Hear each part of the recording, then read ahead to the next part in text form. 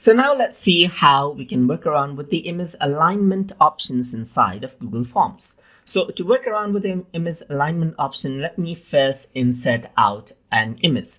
So to do that, I'm going to click on the image icon right here. And let me just go around onto, um, let's say, for example, photos a section right here and insert out an image from my Google Photos, just like this.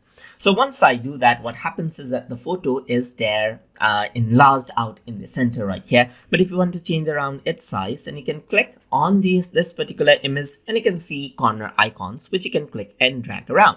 So once you click and drag this, you can see that this is what you have. You can go around and then change up the size of the, image as per how you like it.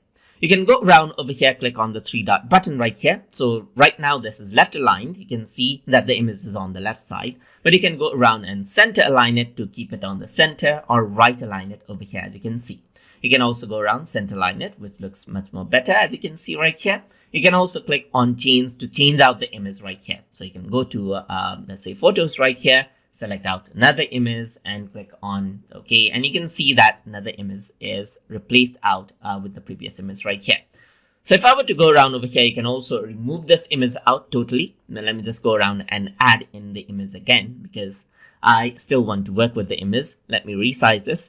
Another thing that you can do is you can go around and work around with the caption as well. So you can click on add a caption right here. And let's say this is going to be example TutorTube right here, just like this. So this is going to be the caption of the image. Let me just center align this out right here. So this is what you have. Uh, but with the uh, images inside of, let's say, for example, let me just go to photos right here and select out an image of my choices like this. Click on insert.